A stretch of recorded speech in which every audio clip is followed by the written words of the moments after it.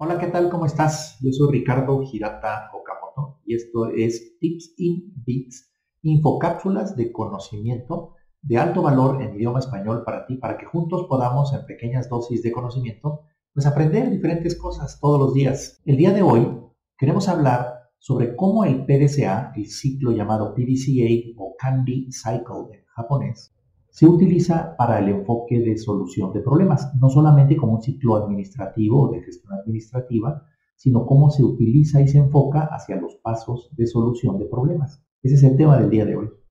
Nos vamos a ayudar de algunas laminitas que seguramente tú vas a poder ver.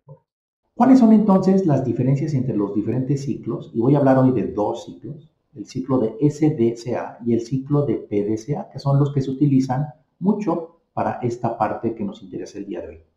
Tenemos otros videos en donde hablamos con mayor detalle sobre la historia del PDCA, la diferencia del PDCA y del ciclo de Deming, y donde también documentamos la transición o la convivencia más bien entre el SDCA y el PDCA para la gestión diaria.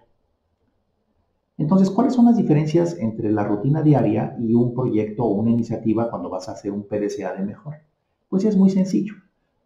Es importante que sepas que eh, antes, desde 1939, el doctor Schuhart había ya propuesto unos pasos o unas fases que tenían que ver con cómo mantener bien controlada y administrada la rutina diaria, el día a día. Y básicamente se pinta de manera lineal, posteriormente el mismo Schuhart ya lo pintó de manera de ciclo y es el que se conoce como el ciclo de Schuhart.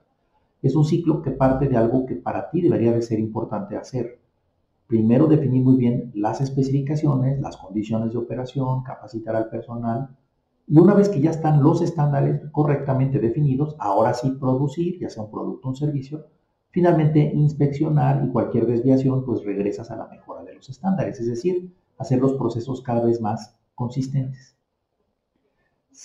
Este ciclo de SDCA evoluciona en, con la visita del doctor Deming y a partir del tiempo entre 1950 y 1959, a convertirse en un ciclo de cuatro pasos que es estandariza, ejecuta, verifica y actúa. Entonces se le conoce también como el SDCA. Pero la esencia de este ciclo es básicamente primero estandariza, luego ejecuta, luego evalúa, verifica y después da seguimiento y estabilidad y mejora los estándares para que en la siguiente vuelta la ejecución sea mucho más fácil. Entonces esto hace que los procesos sean mucho más consistentes.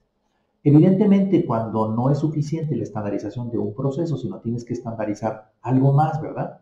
Dentro de un proyecto de mejora, pues tendrías que empezar a hablar de un ciclo en donde no solamente hablas de estandarización, sino tendrías que hablar de planeación.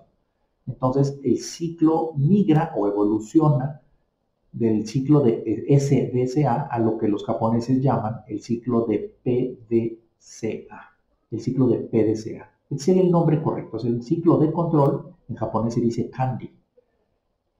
Y a partir de 1960, este ciclo pues es parte de la cultura, de la literatura, del lenguaje, de la mejora continua en Japón y hoy pues en todo el mundo. Pero el enfoque de PDCA, cuando lo vas a aplicar, puede hacerse de diferentes maneras. Uno es para planear y gestionar un proyecto ahí, la planeación tiene un significado importante. Pero puede servir también para ordenar los diferentes pasos de solución de problemas, ya sea que tú quieras utilizar ocho pasos, siete pasos, algunos nada más usan PDCA, otros utilizan cinco pasos, los que utilizan de Mike, bueno, pues sería muy similar a PDCA, solo que de cinco pasos. También se puede utilizar el PDCA para ordenar los pasos de la rutina diaria, enfatizando la P como una S, que esto ya lo platicamos. Pero finalmente, ¿Cómo se aplica el PDCA? Ahora ya dentro de los diferentes enfoques, uno vamos a hablar hoy el enfoque de solución de problemas, mejor conocido como Handy Estabilidad y Kaizen, mejora basada en solución de problemas. El PDCA para la mejora o el enfoque de solución de problemas, lo que uno busca es ordenar o categorizar los diferentes pasos que se utilizan para encontrar un problema, entender el problema, analizar sus causas, descubrir o inventar soluciones, implantar las soluciones, verificar el impacto y una vez que se tienen los resultados deseados, estandarizas tu mejora o tus buenas prácticas y posteriormente pues las replicas. Este sería los típicos pasos de solución de problemas. Aquí el enfoque, si ustedes se fijan, es un enfoque donde hay que entender el problema, hay que entender la causa, hay que implantar una solución y hay que eventualmente estandarizar lo que has aprendido. Este sería el enfoque de solución de problemas. Nosotros diríamos es el PDCA con enfoque de Kaizen, de mejora. Si quisieras utilizar el método que se conoce como QC Story, en México se le conoce como la, rutina, la, ruta de la calidad o el, el método de ocho pasos, pero son pasos de solución de problemas, pues básicamente podríamos decir que el PDCA pues, se subdivide en pasos mucho más pequeños que van desde, como lo puedes ver aquí, la definición del problema, la observación, el análisis de causa, el análisis de soluciones, la implantación, la verificación y finalmente la estandarización, conclusión y volver a arrancar otro ciclo de mejora para decirle mejora continua. Este ciclo pues es el que se le da vuelta con diferentes pasos, diferentes modelos. Normalmente cuando uno dice voy a hacer un Kaizen, ¿está bien? Voy a hacer una mejora. ¿Cómo se ve el PDCA en estos ocho pasos? Bueno, pues ustedes los pueden ver ahí claramente. P, D, C, A. Los primeros cuatro, pues básicamente son de planeación y ya los, que, los restantes son do, check y action.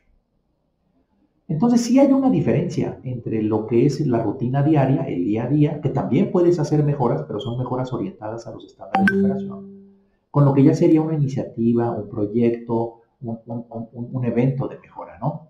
En este sentido, diariamente le damos vuelta a la rutina diaria y eventualmente cuando se necesita, pues tendríamos que generar proyectos un poquito de mayor eh, pertinencia en materia de mejora continua. En ese sentido, pues ustedes pueden ver que yo a lo largo de mi día descubro que necesito hacer una mejora más grande y entonces le doy vuelta al PDCA. Una vez que le das vuelta al PDCA, a los ocho pasos, cinco pasos o el método que tú utilices, lo que aprendes de esa mejora se tiene que convertir nuevamente en un estándar. ¿Está bien? Tendría que convertirse en un estándar. Y con esa estandarización regresas al ciclo de SDCA. Si lo quisiéramos ver, no usas PDCA, sino utilizas el método de ocho pasos, pues es exactamente igual. Tú todos los días estás trabajando, haces mejoras, pero cuando ya no es suficiente y tienes que dedicar tiempo adicional particular, entonces le das vuelta a los ocho pasos. Este es el ejemplo si es que utilizas QC Story, ruta de calidad o método de ocho pasos. Utilizas finalmente el PDCA. Y una vez que haces el PDCA, pues todo lo que aprendes lo tienes que regresar a la fase de estandarización. Así de sencillo es la manera en la que se trabaja con el enfoque de PDCA desde la perspectiva de solución de problemas. Entonces nosotros decimos, sí, los dos ciclos son iguales, no es que uno sea mejor que el otro. La rutina diaria sabe más el que lo hace todos los días y es el mejor candidato para hacerle mejoras a su día a día. Pero cuando los problemas requieren de más tiempo, de más talento, de otras personas, pues entonces tenemos que evolucionar hacia un ciclo de mejora. La estabilidad también requiere de mejoras, pero finalmente es la estabilidad de lo actual. Y la mejora sería un cambio sobre lo actual.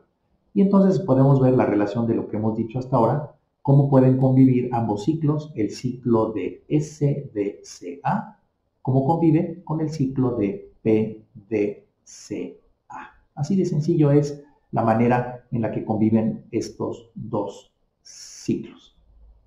Todo esto de la historia de los ciclos de control de calidad fue documentada desde 1991 por el doctor Kozo Koura, en paz descanse, premio Deming también en Japón, y que nos visitó a México para conocer cómo en México la Asociación Mexicana de Trabajo en Equipo estaba haciendo los foros nacionales de círculos de control de calidad. Pero bueno, ahí les dejo también otra bibliografía que seguramente va a ser de buena referencia para ustedes.